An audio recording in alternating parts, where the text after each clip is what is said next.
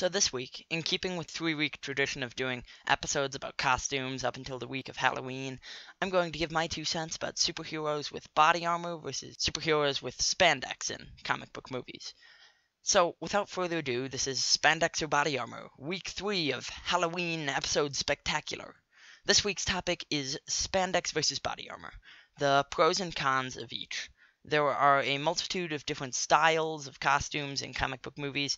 Some are incredibly accurate, even down to the material being spandex or other lightweight, stretchy suits. Though some, although they are undeniably badass, are body armor, and unlike the comics, even when they could be both. Last week, I put every single X Men costume on the bad list, due to them not being comic accurate and, you know, leather, which kind of looks stupid nowadays. They're leathery in the earlier movies, and body armory in the later ones, even to the point of not making sense. If Wolverine has a healing factor, why should he need body armor? I think that the spandex versus body armor debate comes down to one point the idea that spandex cannot be cool and that body armor is always cool. As previously said, the X Men costumes are body armor. At the time they came out, this made sense. Superman 4 The Quest for Peace was criticized for relying too much on spandex with Christopher Reeve and Nuclear Man, but now colored costumes have been proven to work, even with the X Men franchise. X Men First Class actually had colored costumes, as well as other popular superhero movies. The Avengers, Captain America, Deadpool, all had colored costumes. So I was surprised when in Days of Future Past, not one colored costume showed up. I understand that you want darker suits in the future, but the past? In the 70s? How does that work? The 70s would be perfect for colored costumes. However, if you do go all the way with colored costumes, it can get ridiculous. I mean, I can see why Nuclear Man was terrible. And Christopher Reeve only pulls off spandex because he's truly a nice guy with nothing to hide. So you can't really win. If you go entirely one way, it sucks. But if you go entirely the other way, it doesn't work either. It's a no-win situation. You need a good combination. Way back in the 30s, when Action Comics number 1 was written, and Superman was on the cover lifting a car, he wore spandex. This was for a simple reason. When Jerry Sieg and Joe Shuster wrote it, they explicitly had circus strongmen of the 30s in mind. The strongmen wore spandex suits, large belts, and occasionally capes. Superheroes following him also took to this.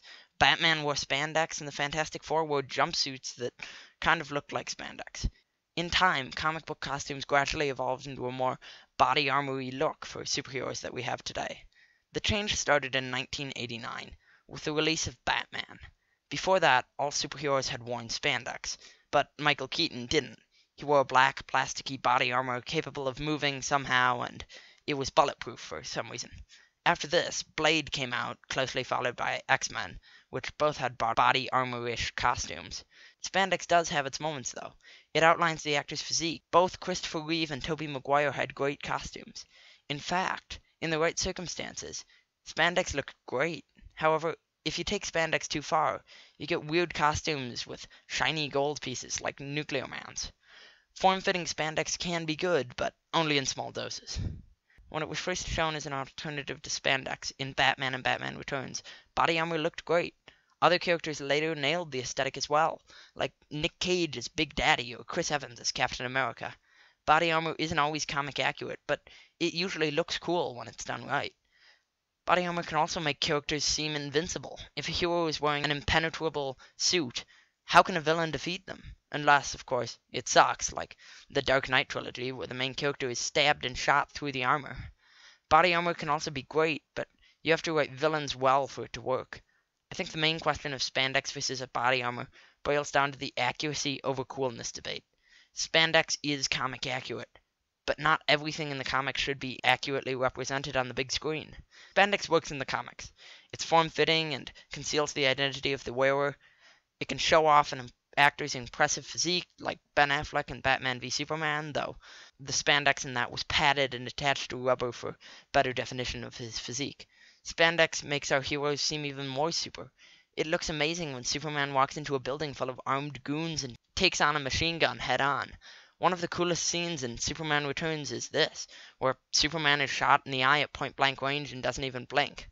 Batman is another example of this. If a man can rush into a building or fight a small army of thugs while only wearing a layer of spandex, he should be a superhero.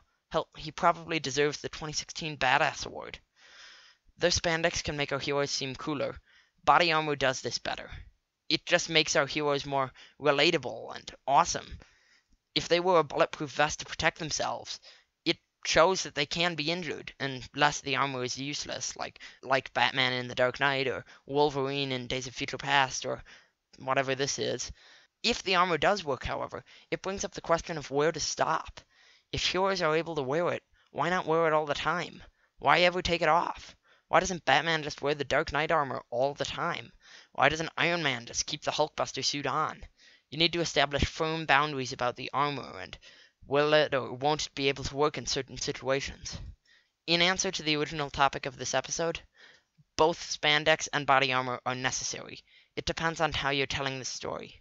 The Batman v Superman Dawn of Justice batsuit is cool, and so is the Justice League batsuit.